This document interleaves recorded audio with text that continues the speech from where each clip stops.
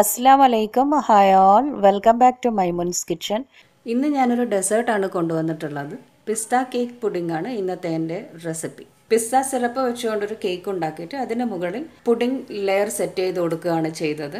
ഞാനിപ്പം ഈ പുഡിങ്ങിന് ചൈന ഗ്രാസോ അല്ലെങ്കിൽ ജെലാറ്റിനോ അങ്ങനെ ഒന്നും യൂസ് ചെയ്തിട്ടില്ല. കുറച്ച് കോൺഫ്ലവർ കസ്റ്റേർഡ് ഉണ്ടാക്കിയിട്ടാണ് ഈ പുഡിംഗ് ഉണ്ടാക്കിയിട്ടുള്ളത്.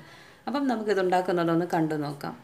അപ്പോൾ നമുക്ക് റെസിപ്പിയിലേക്ക് പോവാം. അതിനു മുമ്പ് ഈ യൂട്യൂബ് ചാനൽ പുതിയതായി കാണുന്നവരാണ് നിങ്ങളെങ്കിൽ സബ്സ്ക്രൈബ് ചെയ്യാൻ മറക്കരുത് കേട്ടോ. നിങ്ങൾക്ക് സബ്സ്ക്രൈബ് ചെയ്യാൻ ഒരു ബുദ്ധിമുട്ടുമില്ല.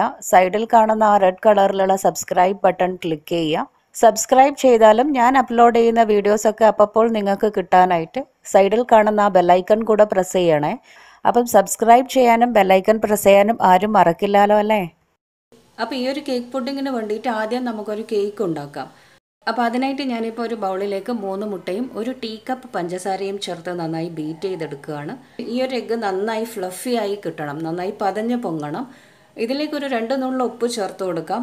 സ്വീറ്റൊക്കെ ഒന്ന് ബാലൻസ് ചെയ്ത് കിട്ടാൻ വേണ്ടിയിട്ടാണ്. ഇനിയിപ്പോൾ ഇത് നന്നായി പതഞ്ഞ് വരുമ്പോൾ ഇതിലേക്ക് നമുക്ക് എന്ത് ചെയ്യാം?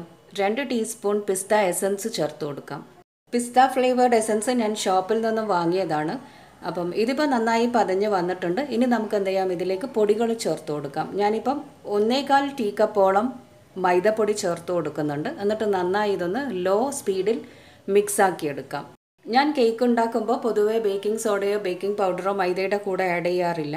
ഈ ഒരു കേക്കിലും ഞാനതൊന്നും ചേർത്തിട്ടില്ല. അല്ലാതെ തന്നെ നല്ല ഫ്ലഫി ആയിട്ടുള്ള നല്ല സ്പോഞ്ചി കേക്ക് എനിക്ക് കിട്ടാറുണ്ട്. മൈദപ്പൊടി ഈ എഗ് മിക്സ്ചറിലേക്ക് കുറച്ച് കുറച്ചായി ചേർത്തിട്ട് മിക്സാക്കി കൊടുക്കാം. ഒരുമിച്ച് ചേർത്താൽ നമുക്കിത് മിക്സാക്കി എടുക്കുമ്പോൾ അവിടെ ഇവിടെ ഒക്കെ കട്ട കാണും. അപ്പോൾ അത് ഒഴിവാക്കാൻ വേണ്ടിയിട്ട് കുറച്ച് കുറച്ചായിട്ട് ചേർത്ത് കൊടുക്കാം. ഇപ്പോൾ എല്ലാം നന്നായി മിക്സായി വന്നിട്ടുണ്ട്. ഇനി നമുക്കിത് പത അടങ്ങി പോകുന്നതിന് മുമ്പ് നമുക്ക് കേക്ക് ടിന്നിലിട്ടിട്ട് ബേക്ക് ചെയ്തെടുക്കാം. ഞാനിപ്പോൾ ഒരു ഓവൽ ഷേപ്പിലുള്ള ഗ്ലാസ് ബൗളാണ് എടുത്തിട്ടുള്ളത്. കേക്കിന്റെ ബാറ്റർ ഒഴിച്ചു കൊടുത്തിട്ട് നന്നായി ലെവൽ ചെയ്ത് കൊടുക്കാം. ഞാനിപ്പം ഓവനിലാണ് ചെയ്യുന്നത്. പ്രീഹീറ്റ് ചെയ്തിട്ടുള്ള ഓവണിൽ one eighty to two hundred degree സെൽഷ്യസിൽ ഒരു പതിനഞ്ച് മിനിറ്റോളം വെച്ചാൽ മതി. അല്ലാതെ ഒരു പതിനഞ്ച് മിനിറ്റ് നമുക്ക് നോൺ സ്റ്റിക്ക് പാനിൽ കുക്ക് ചെയ്തെടുത്താലും മതി കേട്ടോ. അപ്പം നമ്മുടെ കേക്ക് ഇവിടെ റെഡി ആയിട്ടുണ്ട്. നല്ല സ്പോഞ്ചി ആയിട്ടുള്ള കേക്കാണ് ഞാനിപ്പോൾ ഇത് കേക്ക് പുറത്തെടുക്കുന്നില്ല. കാരണം നമ്മൾ ഇതിലേക്ക് തന്നെയാണ് കസ്റ്റർഡ് ഒഴിച്ചു കൊടുക്കുന്നത്. ഈ കേക്ക് ചൂടാറാനായിട്ട് നമുക്കൊരു സൈഡിലേക്ക് മാറ്റി വെക്കാം. ഈ സമയം നമുക്കൊരു കസ്റ്റർഡ് ഉണ്ടാക്കണം. അതിനായി ഞാനിപ്പോൾ ഒരു പാക്കറ്റ് പാൽ ചൂടാകാനായി വെച്ചിട്ടുണ്ട്. ഇതിൽ നിന്നും കുറച്ച് പാലെടുത്തിട്ട് മൂന്ന് ടേബിൾ സ്പൂൺ കോൺഫ്ലവറും അതുപോലെ ഒരു ടേബിൾ സ്പൂണോളം പിസ്ത എസൻസും ചേർത്ത് കൊടുക്കാം. എന്നിട്ട് നന്നായി മിക്സ് ആക്കി വെക്കാം. ഞാനിപ്പോൾ ഈ ചൂടായി വരുന്ന പാലിലേക്ക് പഞ്ചസാര ചേർത്ത് കൊടുക്കുന്നുണ്ട്. ഏകദേശം ഒരു രണ്ട് രണ്ടര തവിയോളം പഞ്ചസാര ഞാൻ ചേർത്ത് കൊടുത്തിട്ടുണ്ട്. മാക്സിമം ഒരു കപ്പിനടുത്ത് ചേർത്താൽ മതി. ഇനി എന്താ ചെയ്യേണ്ടതെന്ന് വെച്ചാൽ നന്നായി മിക്സ് ആക്കി എടുക്കാം. ഇതിലേക്കും ഒരു നുള്ള ഉപ്പ് ചേർത്ത് കൊടുത്തിട്ട് നന്നായി മിക്സ് ആക്കി എടുക്കാം. പഞ്ചസാര ഇപ്പോൾ ഏകദേശം മെൽറ്റായി വന്നിട്ടുണ്ടാവും. ഇതിലേക്ക് നമുക്ക് നേരത്തെ മിക്സാക്കി വെച്ചിട്ടുള്ള കോൺഫ്ലവർ പിസ്ത മിക്സ്ചർ ഒഴിച്ചു കൊടുക്കാം. എന്നിട്ട് നന്നായി ഇത് കൈവെക്കാതെ ഇളക്കി കൊടുക്കണം. കോൺഫ്ലവർ വേവാനായിട്ട് മീഡിയം ഫ്ലെയിമിൽ വെച്ച് കൊടുക്കാം. എന്നിട്ട് നമുക്കിത് എന്ത് ചെയ്യാം? കൈവെക്കാതെ ഇളക്കി കൊടുക്കാം. കോൺഫ്ലവർ പാലിലിട്ടാൽ മീഡിയം ഫ്ലെയിമിൽ വെക്കുക. എന്നിട്ട് നന്നായി ഇത് ഇളക്കി കൊടുത്തുകൊണ്ടിരിക്കാം. ഇപ്പം നമ്മുടെ മിക്സ് ഏകദേശം ഒരു അഞ്ച് മിനിറ്റൊക്കെ ഞാനിപ്പോൾ ഇങ്ങനെ കൈവെക്കാതെ ഇളക്കി കൊടുത്തിട്ടുണ്ട്. ഇപ്പം നമ്മുടെ മിക്സ് നന്നായി തിക്കായി വന്നിട്ടുണ്ട്. ഒരുപാടങ്ങ് കട്ടിയാക്കണ്ട. നമ്മളിത് കേക്കിന്റെ മുകളിൽ ഒഴിച്ചു കൊടുക്കുന്നതല്ലേ ഇപ്പം നമ്മുടെ കോൺഫ്ലവർ നന്നായി വെന്ത് വന്നിട്ടുണ്ട്.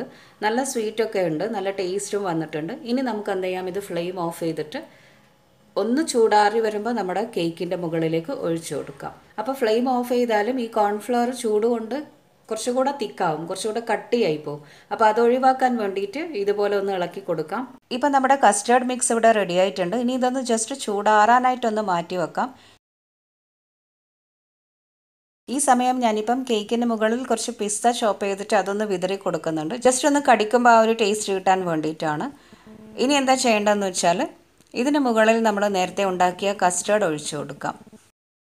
കസ്റ്റേർഡ് ഇപ്പോൾ ഒരുപാട് അങ്ങ് കട്ടിയായിട്ടില്ല എന്നാൽ ഒരുപാട് ലൂസും ആയിട്ടില്ല. നന്നായി വെന്ത് വന്നിട്ടുണ്ട്. ഇത് മുകളിൽ ഒഴിച്ചു കൊടുത്തിട്ട് എല്ലാ ഭാഗവും ലെവൽ ചെയ്ത് കൊടുക്കാം. എന്നിട്ട് നമുക്കിഷ്ടമുള്ള രീതിയിൽ ഗാർണിഷ് ചെയ്യാം. ഞാനിപ്പം കുറച്ച് പിസ്സ കാഷ്യൂ ബദാം എന്നിവ നന്നായി ചോപ്പ് ചെയ്തിട്ട് ഒരു ലൈൻ വെച്ച് കൊടുത്തിട്ടുണ്ട്. അതിന് മുകളിലായി കുറച്ച് ടൂട്ടി ഫ്രൂട്ടിയൊക്കെ വെച്ചിട്ടാണ് ഗാർണിഷ് ചെയ്തിട്ടുള്ളത്. നമുക്കിഷ്ടമുള്ള രീതിയിൽ ഗാർണിഷ് ചെയ്തിട്ട് ഒന്ന് ഫ്രിഡ്ജിൽ ഒരു ഒന്ന് രണ്ട് മണിക്കൂർ സെറ്റാകാനായിട്ട് വെക്കാം. അതിനുശേഷം കട്ട് ചെയ്ത് സെർവ് ചെയ്യാം.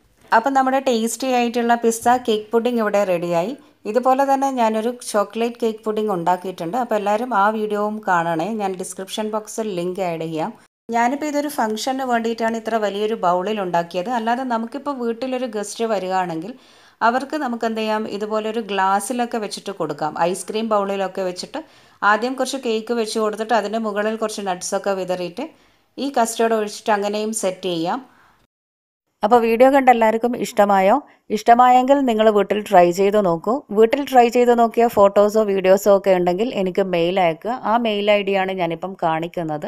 അപ്പോൾ എല്ലാവരും വീട്ടിൽ ട്രൈ ചെയ്ത് നോക്കി അഭിപ്രായം പറയൂ. അപ്പോൾ വീഡിയോസ് കണ്ടിട്ട് ലൈക്ക് ചെയ്യാൻ മറക്കരുത് കേട്ടോ. അതുപോലെ നിങ്ങളുടെ ഫാമിലീസിനും ഫ്രണ്ട്സിനും റിലേറ്റീവ്സിനും ഒക്കെ നിങ്ങൾ ഈ വീഡിയോസ് ഷെയർ ചെയ്ത് കൊടുക്കുക. അപ്പോൾ പുതിയ റെസിപ്പീസുമായി നമുക്ക് നാളെ കാണാം.